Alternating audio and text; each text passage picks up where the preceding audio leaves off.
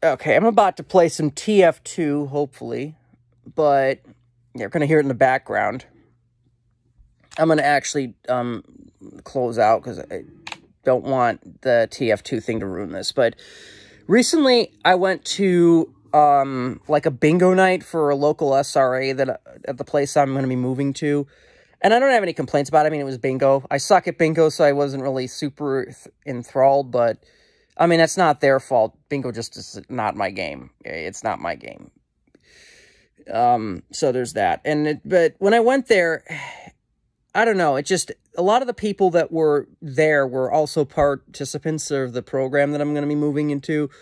And it's sort of like a lot of them are more severely afflicted. Some of them maybe even nonverbal with their disabilities. So it's like, you know, this this is concerning for two reasons. First of all, I'm not saying people shouldn't have um, a chance to succeed if they're severely afflicted by something they can't control. But the thing is, that doesn't, I mean, I don't know. It makes me wonder, like, is this program going to be a fit for me? Because if that's the clientele, I've been in programs like that before where they focus on that clientele that needs certain things that I already know and I get left behind. You know, it's like they're trying to focus on, oh, well, you need to learn how to learn idioms or you need to learn how to um, understand sarcasm. It's like, but I already know that. You know, can we focus on things that I don't know, like how to socialize, how to find a significant other? I mean, I have one, but like, that's just hypothetical because, like, I don't even fucking know how I got one myself.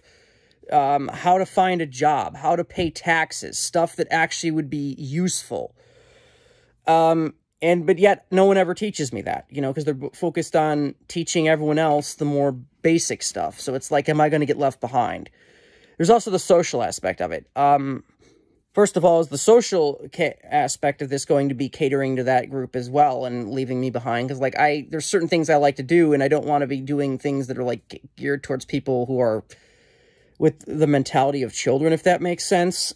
Whether or not they can control it like i mean i'm not going to be interested with things that are like geared towards children, if that makes sense.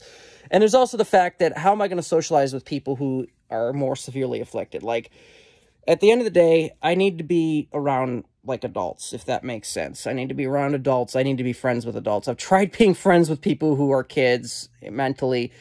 Um, I could make a series of videos listing why that doesn't work. In fact, I probably will. That's how badly it's affected me. It's caused serious trust issues too because like a lot of times they make promises and then they don't keep them and don't you know seem to understand how serious that is. And it's like well i can't even trust my own friends. Who can i trust? That's like it's serious problems. I also have to point out something that one of the moms there was doing. Hold up. Like there was a mom at the program who it was a mom who was there with her son and the son was playing nintendo ds which is fine. You know it wasn't exactly the most entertaining event. There was a guy that was just like talking intermittently and not much going on for a long time. I have to kind of complain about that. Like, if you're going to have people with disabilities going to your program, try and keep it entertaining for them. Don't just be like, don't like waste a half hour not doing much and just announcing things. Like, people don't want to hear that. We're not, we're not going to a college lecture, guys. Come on. And we paid money for this. Like, here we are now. Entertain us, as that song goes. But he was playing his DS, and his mom does a lot of the same shit that I that mine did, nagging.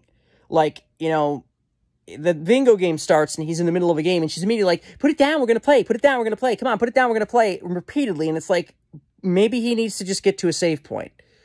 Maybe he didn't hear you the first time because he's focused on the game, which is understandable. I mean, if you guys go to up, if you guys are playing like a first-person shooter and someone comes up to you and asks you a question, are you going to necessarily answer the question, or are you going to be focused on trying not to get killed by that sniper? You see what I'm saying? So people don't seem to understand that. They don't seem to respect that. And the nagging's just not okay. There's also the, in my opinion, it's just rude. There's also the, the part where um, there was one time where she just kept asking him a question and kept asking him a question. He was like focused elsewhere. And she just kept insisting like, he didn't answer it. Two seconds later, hey, what did you, hey, did you hear this? Two seconds later, didn't hear it. Hey, did you hear this? Just not even giving him time to really think, not even giving him time to like say, maybe I need to answer this later. Not picking up that maybe he's preoccupied and doesn't want to answer the question. You know, that's a possibility too. If someone doesn't answer a question several times, maybe they don't want to. And it's one of those things where I've had parents, like, it's just weird to see because that's like what my mom does too. She nags. Like, she'll come up and nag sometimes.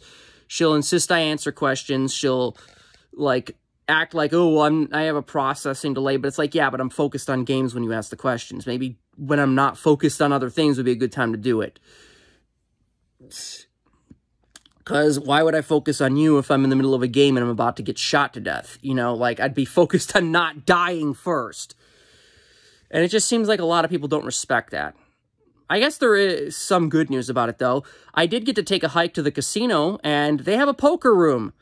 Novel concept. The last two casinos I went to near where I live didn't have that because I guess COVID shut it down. So it's nice to see that there is one that still has a functioning poker room.